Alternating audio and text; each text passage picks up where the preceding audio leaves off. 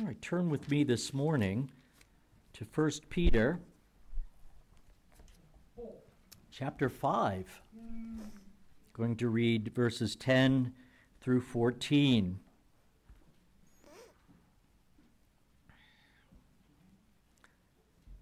First Peter 5, 10 through 14. And after you have suffered a little while, the God of all grace, who has called you to his eternal glory in Christ, will himself restore, confirm, strengthen, and establish you. To him be the dominion forever and ever. Amen. By Silvanus, a faithful brother as I regard him, I have written briefly to you, exhorting and declaring that this is the true grace of God Stand firm in it. She who is at Babylon, who is likewise chosen, sends you greetings, and so does Mark, my son. Greet one another with the kiss of love. Peace to all of you who are in Christ. Well, this is my first sermon in the series on 1 Peter and it's mostly an introduction to the letter as a whole. And I thought it's helpful to get something of the big picture, or at least try to get something of the bigger picture before we consider it section by section or paragraph by paragraph. That was the idea, and I was trying to think of a helpful way to do that when I providentially stumbled upon a 30 minute YouTube video of a man named Andrew Klavan. I, I didn't know him before, but apparently he has a podcast with the Daily Wire. And on this episode, he was in conversation with Doug Wilson. And at the start of the podcast, before Klavan introduced his guest, he introduced the episode this way. These are his words. I actually copied the transcript.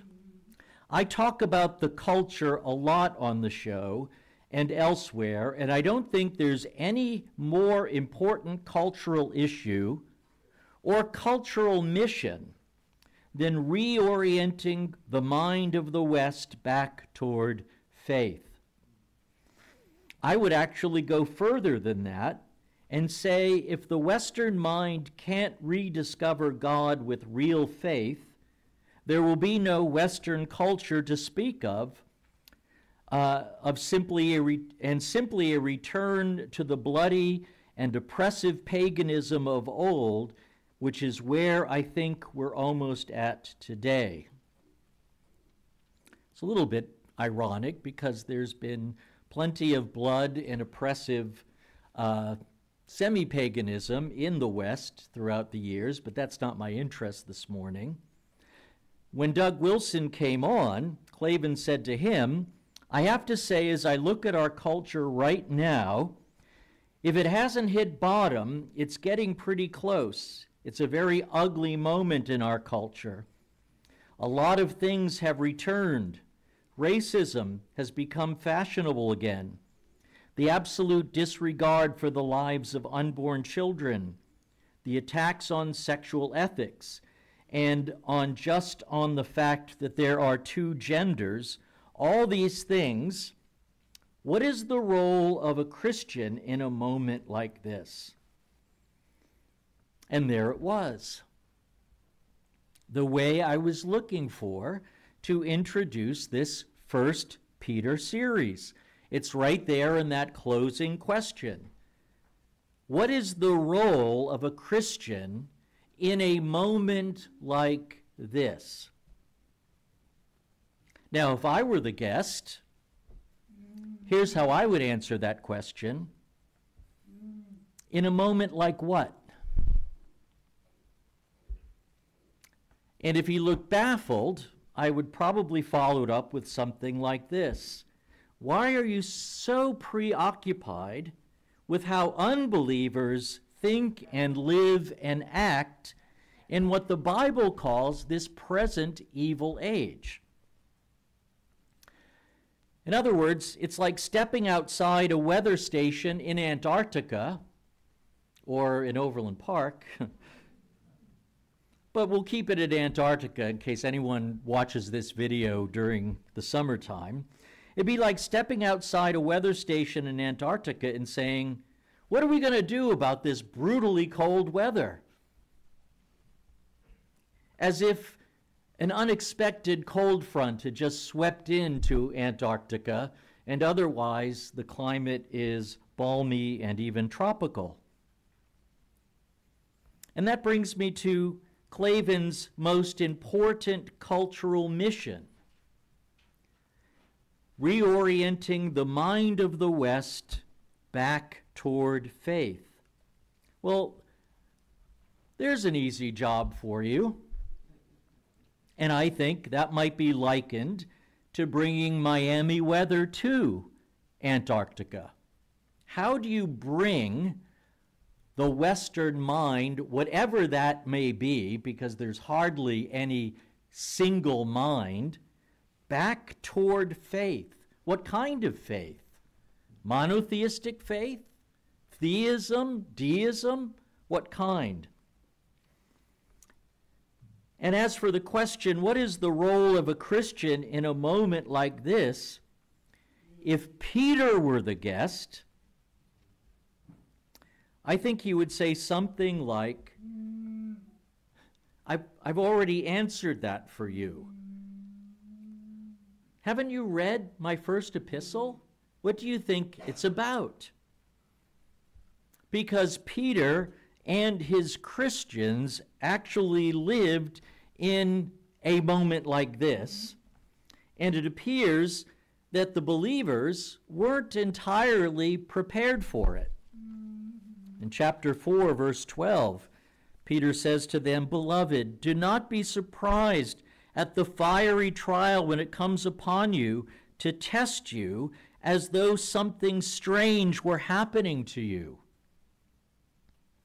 I think Western Christians are actually surprised that unbelievers are acting like, uh, what word could I use? Unbelievers. People that Paul describes in quite a bit of detail as dead in their trespasses and sins, as slaves to sin, as those who follow the dark powers of the air, who by nature are children of wrath. As it turns out, for Peter, moments like this are normal life in the world.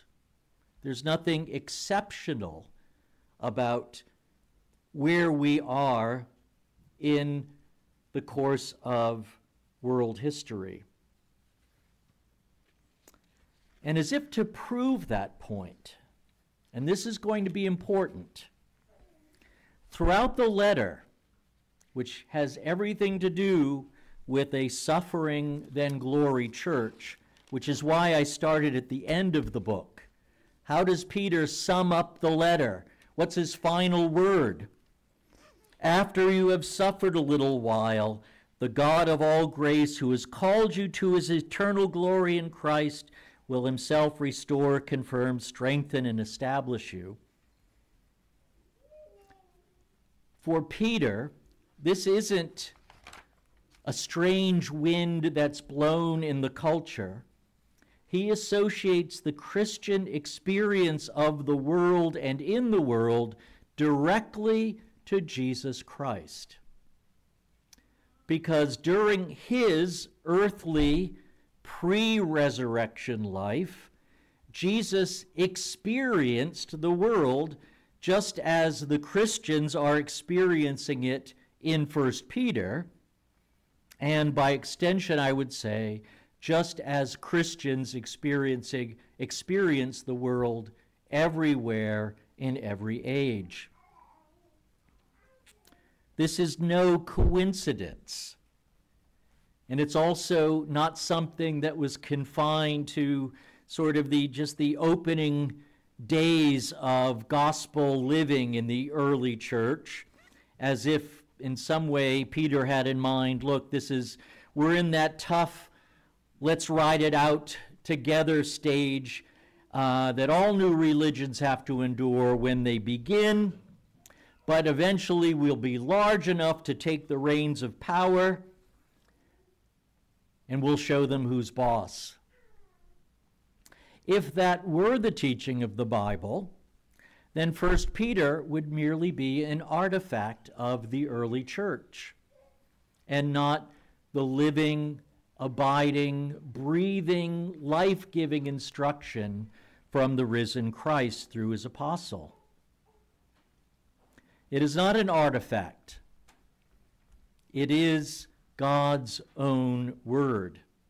First spoken, to be sure, in a cyclical letter that made the rounds in Asia Minor. I don't know how many churches received a copy of this letter. But just like any other letter in the New Testament, it's finally reached us in our own tongue in the modern world, but it's lost nothing along the way.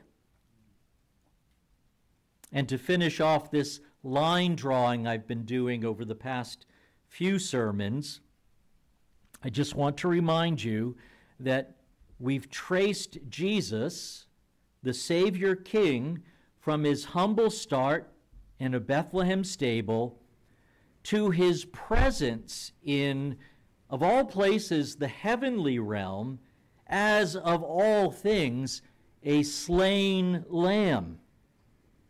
So when Peter wrote, and he wrote this probably from Rome. There's debate, healthy debate about when he might have written this.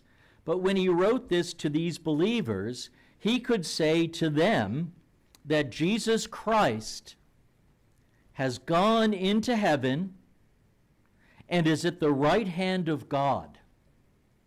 And if that's not clear enough, because he's referring to Psalm 110, he adds this he is seated at the right hand of God with angels, authorities, and powers having been subjected to him.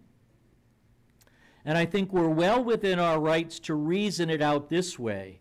If angels, authorities, and powers are subject to him, then so is Rome and Caesar.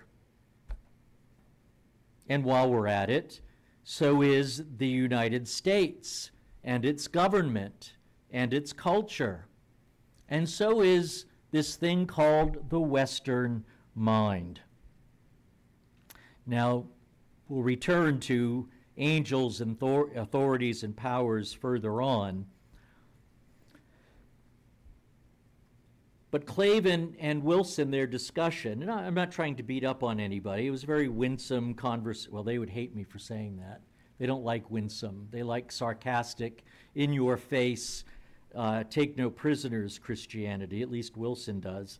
Um, but as they discussed our degrading culture, uh, it helps me to introduce what First Peter is teaching in another important way. And this is very important. When they, or really any Western Christians in general, lament a, quote, moment like this in our culture, what they're really doing is they are presupposing a narrative. That is, they are assuming that we are in and are a part of a larger story. Please, please hold on to that because it, they've illustrated that for me so nicely. When they lament this moment, a moment like this one, they are assuming that we, all of us, are in and are a part of an existing story. That should be obvious, right? In other words, if we've sunk so low as a culture, then that presupposes we were once higher as a culture.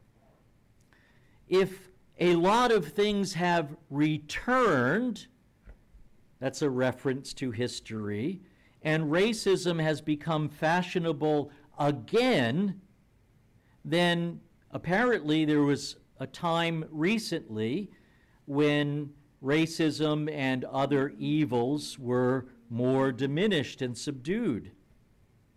So, what these are, are story beliefs. Story beliefs. This is so very important to understanding 1 Peter and really the whole Bible. And in this belief, outlining it very broadly, Western culture began at a specific time. It developed in both space and time. Along the way, it was infused with the Bible and Christianity and a belief in one God. And it was making forward progress in its host cultures. That's the story. And this narrative arc brought extraordinary benefits to humanity in every area of life that we consider meaningful the arts, religion, science and technology, human government, and so on and so forth. If you're not religious, then you're probably going to give most of the credit to the Enlightenment, and maybe more credit than the Enlightenment deserves. If you are religious, then you're probably going to give more credit to Western Christianity, and maybe more than Western Christianity deserves. But Westerners across the religious and philosophical spectrum share the same overarching narrative about the West. They may debate the details like mad, and without straying too far into the academy, now even some of the most basic beliefs about Western culture have been not only called into question, but have been or at least attempt to be refuted. But for the most part, historically, there is this overall history that we could all agree on. And in case you're wondering, a personal word, I deeply appreciate Western culture, warts and all. And I would expect all of its warts because I believe primarily in the Bible's view of the fallenness of humanity. But I cherish the story of Western civilization at this sort of basic horizontal level as a quality of life in the world. I would rather live in Kansas than in Tehran. Yes, I would. And if you want to read something good on this question, I recommend, because it was not only well researched, but it's very accessible, Jonah Goldberg's little book, Suicide of the West.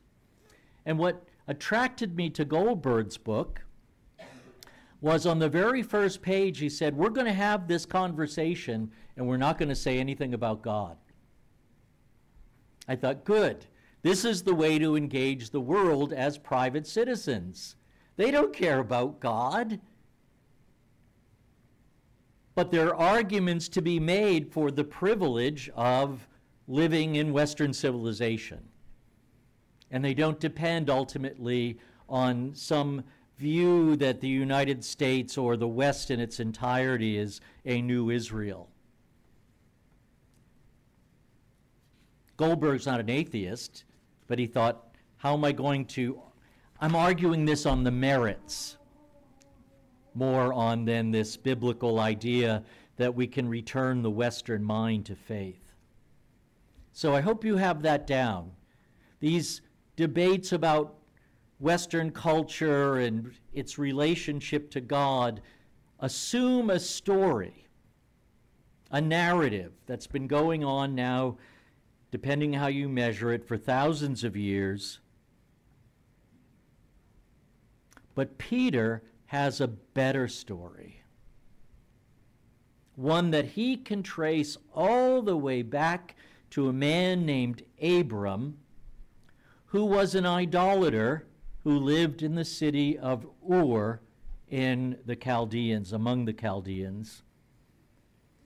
And as First Peter shows, Jesus' apostle, his, his first leader of the church, Peter, has incorporated former Gentiles into that story. Well, we can call it Israel's story, we can call it the history of redemption, but what he's done is, it's as if he's opened up the gates and said, Come on in. There's a bigger story here that you didn't even know was taking place. And so, God ultimately, the Father, the Son, and the Holy Spirit, has absorbed us into Israel's story, and as a result, has given us a new identity. Once you were not a people, Peter says in chapter 2, verse 10, but now you are God's people. Once you had not received mercy, but now you have received mercy. And that's how Peter actually begins the epistle. In verse 3 of chapter 1, he says this Blessed be the God and Father of our Lord Jesus Christ. According to his great mercy, he has caused us to be born again to a living hope through the resurrection of Jesus Christ from the dead. Now, I'll have more to say about that story, of course, but also how fundamental story is to every aspect of our human identity. As we'll see, it informs how we live, how we move, and how we have our being in this world. And stories are universal. That is, wherever you go in the world, whether in larger cultures or in tribes, you will inevitably discover that this group of people has a story so that it can explain its existence in the world and try and develop a sense of meaning and purpose.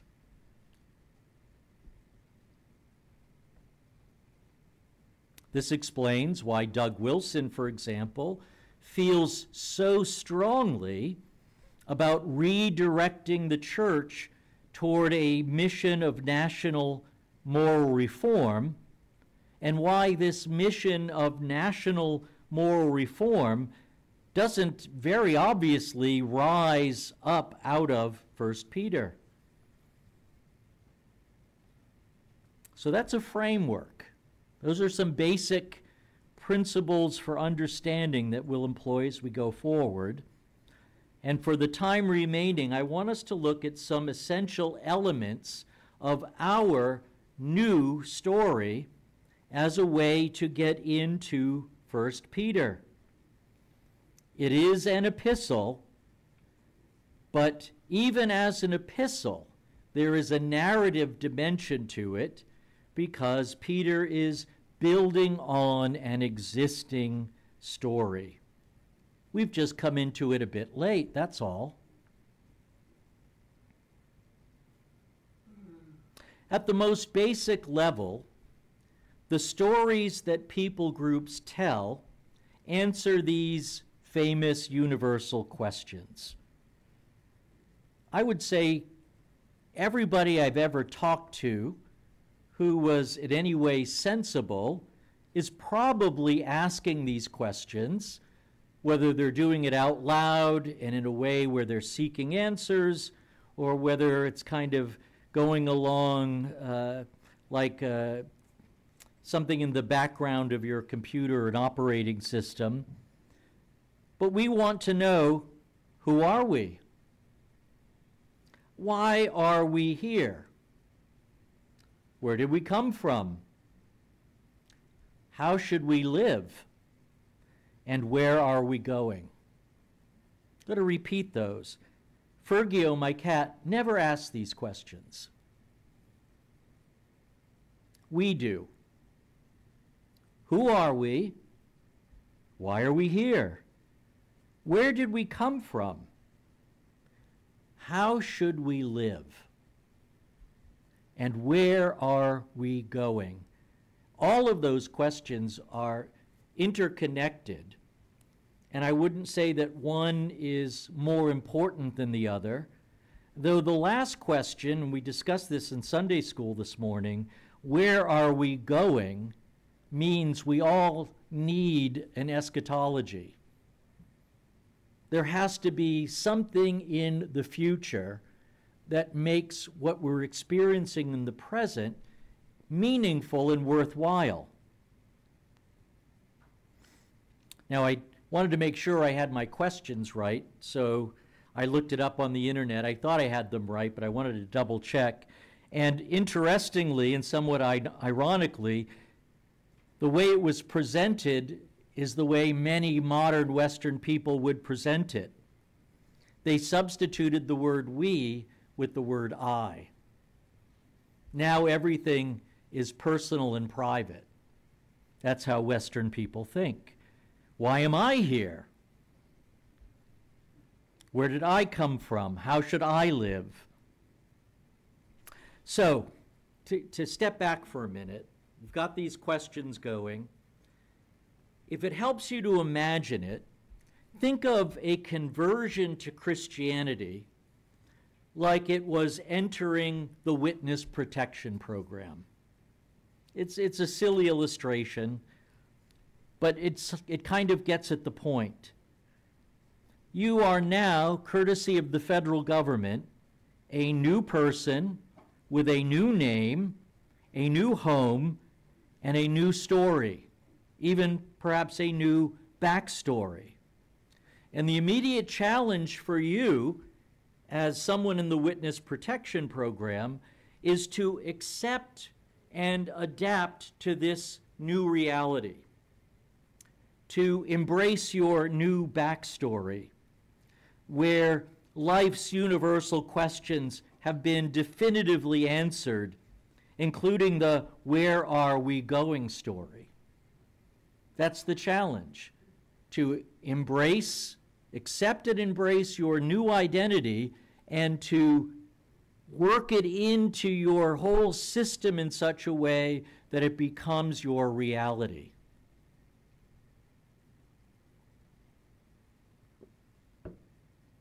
This is what Peter's up to. So that when we come back to that ending passage, he says, in order to summarize the letter, right? That's why we're not going to preach it backward. We go to the end to see where is this headed? If Peter had just a few words to tie off his communication, what words would he use? Because we might find in those words a way to get into the letter and get a summary of it. And he says this, and after you have suffered a little while, uh oh, the God of all grace, who has called you to his eternal glory in Christ, will himself restore, confirm, strengthen, and establish you. To him be the dominion forever and ever. Amen. By Silvanus, a faithful brother as I regard him, I have, I have written briefly to you, exhorting and declaring that this is the true grace of God. What must you do with it? Stand firm in it. She who is at Babylon, who is likewise chosen, sends you greetings, and so does Mark, my son. This is how Peter sums up the main thrust, the main point of his letter that yes, Christians throughout Asia Minor, God most certainly will finish what he began. Even if that calling to his new world, which is his eternal glory in Christ, that's not dying and going to heaven. Even if this calling to his new world seems to have hit a bit of a scary dead end. And that's what's happening in chapter 1. Peter, an apostle of Jesus Christ, to those who are elect exiles of the dispersion in Pontus, Galatia, Cappadocia, Asia, and Bithynia, according to the foreknowledge of God the Father and the sanctification of the Spirit, for obedience to Jesus Christ and for sprinkling with his blood. May grace and peace be multiplied to you. Blessed be the God and Father of our Lord Jesus Christ. According to his great mercy, he has caused us to be born again to a living hope through the resurrection of Jesus Christ from the dead. He has caused us to be born again to an inheritance that is imperishable, undefiled, and unfading, kept in heaven for you who by God's power are being guarded through faith for a salvation ready to be revealed in the last time. It's wonderful. You know, come on. It's just incredible. God's great mercy. Look what He's done for us, right? It's not just God forgave your sins, you've been born again to an inheritance. We'll see what that is as we continue. And even now, you're being guarded by God's power for a salvation ready to be revealed, meaning it exists already. It just needs to be uncovered in the last time. In this you rejoice. And we're going, Yes, Peter, we do rejoice in this. Thank you. Though now, for a little while, if necessary, you've been grieved by various trials. Okay, we weren't expecting that bit. This is where the consolation and exhortation, where the true grace of God is explained. So that the tested genuineness of your faith, more precious than gold that perishes through, though it is tested by fire, may be found to result in praise and glory and honor at the revelation of Jesus Christ. Though you have not seen him, you love him. Though you do not now see him, you believe in him and rejoice with joy that is inexpressible and filled with glory. You're obtaining the outcome of your faith, the salvation of your souls. What kind of salvation is this, brothers and sisters?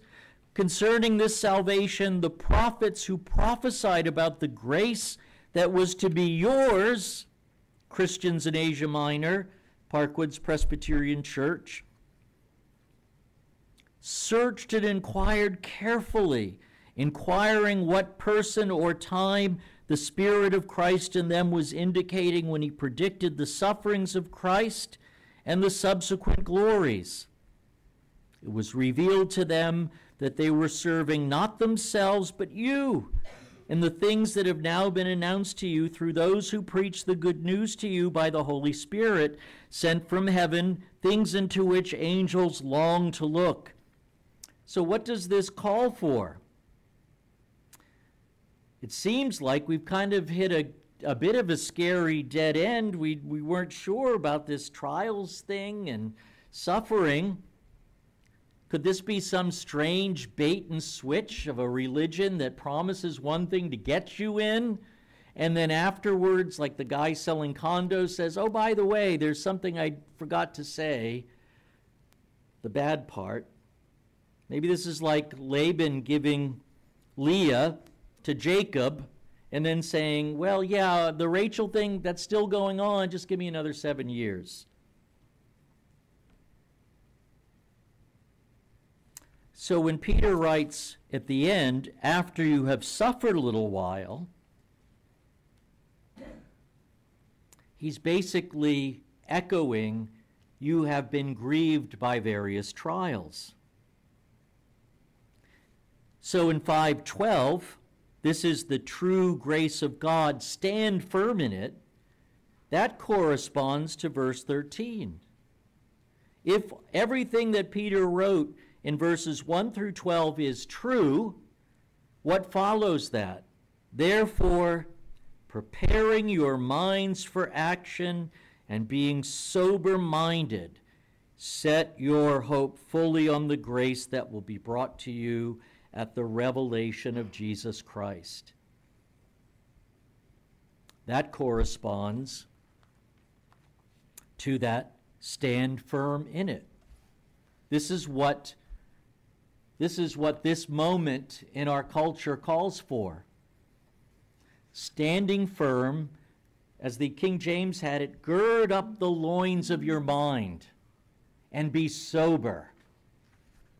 I thought we could just be giddy and just be religiously enthusiastic for the duration, that the fount of many blessings would overflow so that we experienced our best life now. Peter says, mm, no, no, you, that's part of your new identity. S- sorry. And finally, in verse 14, excuse me, verse 13, she who is at Babylon, who is likewise chosen, sends you greetings. That answers 1 1 through 4.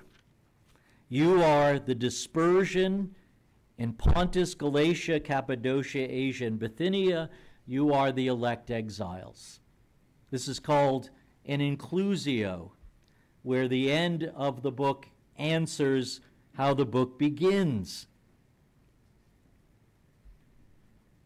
That's the central theme of the epistle. It's part of your new identity in the Witness Protection Program. You are a part of God's return from exile. You are part of God's new exodus. This is the true grace of God. Do you want the true grace of God? If you do, then stick around because Peter is referring back to everything that he's written so far from chapter 1, verse 1.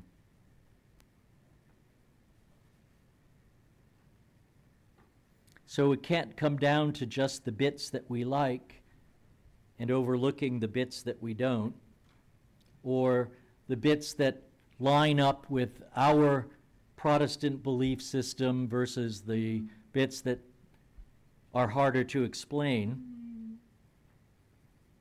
I like the bit where Peter reflects on Christ's service to God and to us when he explains Jesus' suffering and death against the backdrop of Isaiah 53. That's where he took our sins to the tree in his own body. He himself bore our sins in his body on the tree that we might die to sin and live to righteousness. By his wounds you have been healed. Love that. But what led Peter to reflect on Jesus' relationship to Isaiah's suffering servant? Well, it comes just a few verses earlier. He's addressing slaves who were not only powerless by virtue of their slavery, but who were suffering unjustly. That is, they were behaving as well as any slave would and could, but they were still being treated badly. He says to those slaves, For to this you have been called. Why? Because Christ also suffered for you, leaving you an example so that you might follow in his footprints. That brings him to Isaiah 53. But look how he got there. You've been called to this too. Because Christ suffered for you, and now you walk in his footsteps.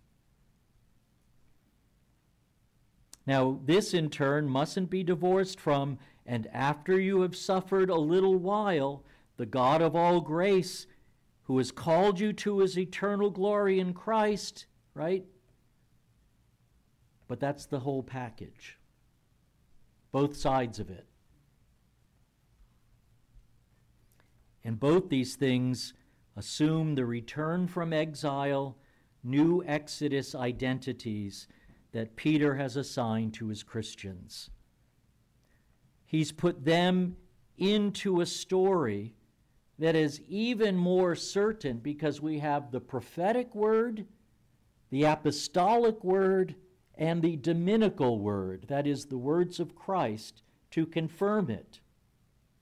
I'm not sure if the story of Western civilization is all that its interpreters say that it is.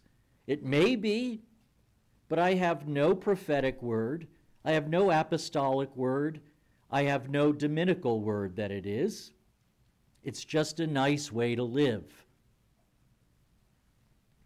Peter has all of that on his side, so that we have a story that is more certain and sure than the story of Western civilization. We don't know what God has planned for the West, so we have no certainty about that.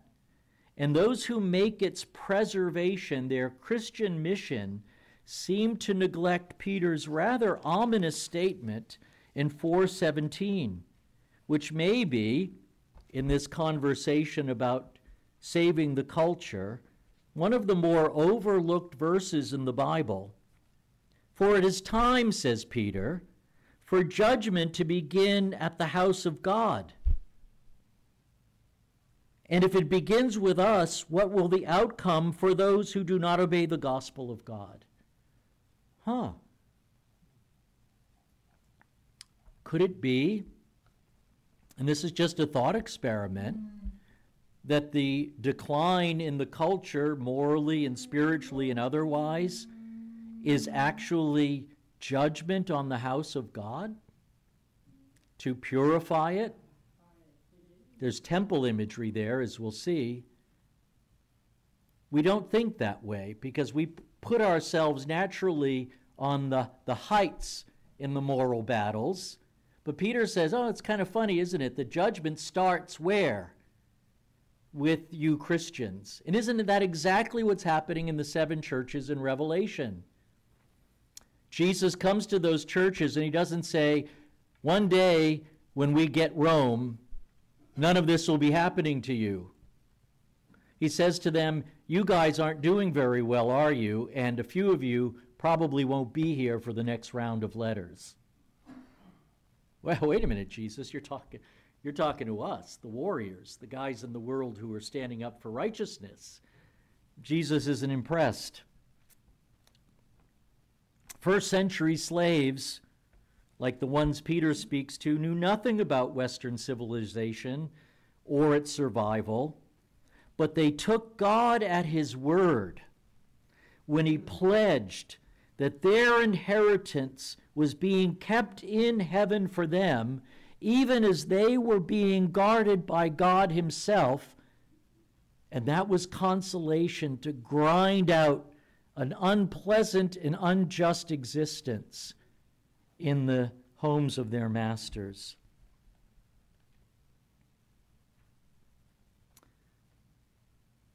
We have famous sayings in the Western Church. One of my favorites is Luther's brilliant axiom that Christians are simultaneously righteous and sinful the insight there, even if he didn't get all the eschatology, was it was bold, it was original, and it was profound.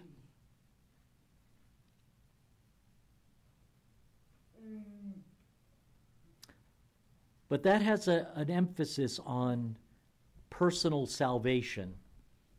Luther was better than that. I don't mean to imply otherwise. But I think Luther, as the hero of the Reformation, we talked about this in Sunday school actually, produced something inadvertently that has impeded Christian self understanding. Peter knows that the best way for Christians to see themselves was to take both to mind and to heart their collective identity. That's why he can address us with the same identity altogether. Who are you people? Well, you're resident aliens in a land that's not hospitable to you. You're in Babylon, but you're also coming out of it and you're entering God's new world. If we slice that up into pieces, we are in a particularly dangerous position because that makes us all alone in a world where, how does he put it? Be sober minded, be watchful. Your adversary, the devil, prowls around like a roaring lion, seeking someone to devour. You ever watch nature documentaries? When the, when the lions go on the hunt, who do they target in the herd? The one that's falling behind is all by him or herself, or someone who might be limping a little bit, or one of the children? What's the best defense that those antelopes and all those other really kind of dopey creatures have? Stay together. Stay together. Our collective identity is, says Peter, that together you are the true and final Israel. You, Gentile converts throughout Asia Minor, are a chosen race, a royal priesthood. You are a holy nation, a people for God's own possession, that you may proclaim the excellencies of Him who called you out of darkness and into his marvelous light. The journey to the inheritance involves suffering for a little while. But the Lord Jesus himself endured the same in order to secure one that is imperishable, undefiled, and unfading. And God guards us and keeps that inheritance with Himself in heaven. We're only waiting for it to be revealed. Let's pray.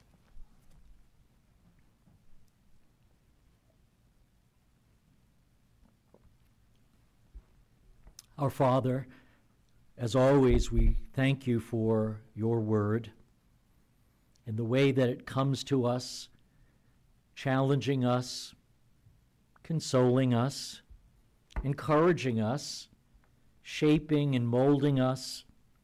All of this, the work of Jesus Christ through his Holy Spirit. And we pray that we may be, well, that we may be as wet clay, ready to be shaped and molded, not by any of the passing philosophies or the passions of earthly people, but by the living and abiding Word of God in the hands of our great Savior, Jesus Christ.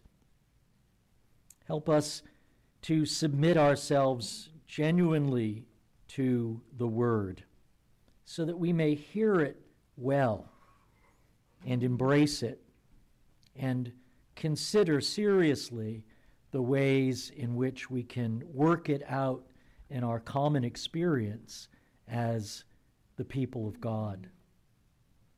It's hard to remember that we once were not a people, but mm-hmm. now we're your people. And we pray that by embracing that identity, not only are the great questions of life answered for us, but the one that may be the most pertinent is all right, how shall we live. Teach us to live well and under the approval of our risen Savior, Jesus Christ the Lord, in whose name we pray. Amen.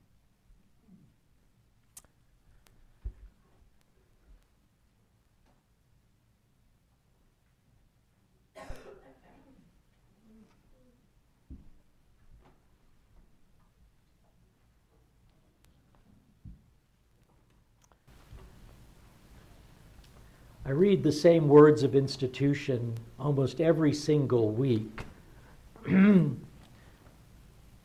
because we read the words of Jesus Christ as a way to separate from ordinary use the bread and the wine.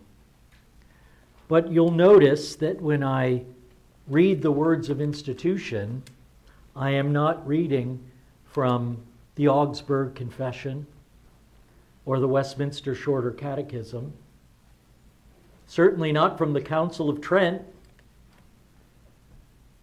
I'm reading from a story. And this is where our participation in the story first began. It began on the night when our Lord Jesus Christ was betrayed. The story, by human reckoning, should have ended there. You know, betrayal, arrest, serious torture, a trial, more torture, and then crucifixion. But Jesus rose from the dead, and we rose with him. That's what it means to have a living hope, to be born again through the resurrection of Jesus Christ from the dead. So, this is now our story, or an important part of it the night when Jesus was betrayed. When he took bread and when he took the cup and shared it with those who would make up the, the, the pillars of his new people in the world.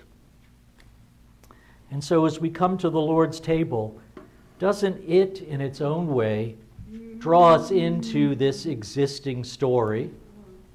The roots of the Last Supper are in the Passover, a very long standing story.